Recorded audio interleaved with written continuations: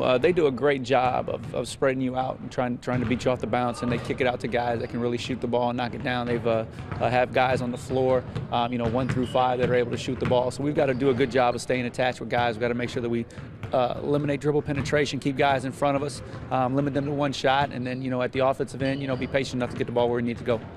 You guys, whenever we're here, you guys are always relaxed, kind of loose, kind of doing it. Do you ever have to lock in a little bit more, or, or is it the looseness the part of your team? I think you know the looseness uh, identifies who we are. We're a very relaxed group. Um, our guys are very um, you know playful.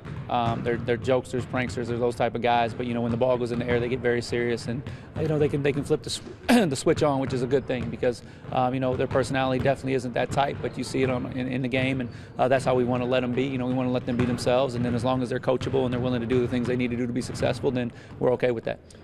And if you guys win on Saturday, this will be the first state title for a uh, Fort Wayne team since the 70s. Have you seen the community rally around you guys more?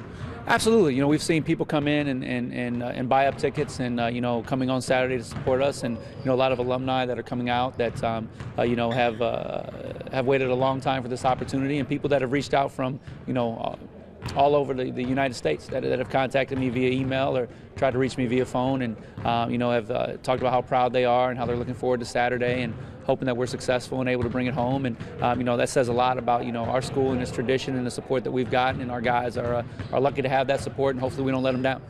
Do you have to tell your players anything about that? Because I mean, obviously they'll probably be reached out to a little bit as well. But do you have to tell them about the perspective, just to keep perspective on this? You know, I think they have some knowledge about it and they have some understanding. But you know, we have to redirect their focus at times and realize what we're playing for, and um, you know, try to get them to understand that. Because at their age, you know, if I was their age, I wouldn't, you know, uh, you know, dial into those type of things or you know what's going on. I would be impressed with the amount of people that are coming to the game, but uh, not concerned about why and, and, what their incentive is. So we talk about incentive and motivation. Uh, you know, as is the people that support us and the opportunities that are in front of us. And you know, we've talked about making memories and making history throughout the course of the year. So uh, when we, we speak about the opportunity to uh, to win a state title, um, it, cor- it correlates with all the stuff that we've been preaching from day one.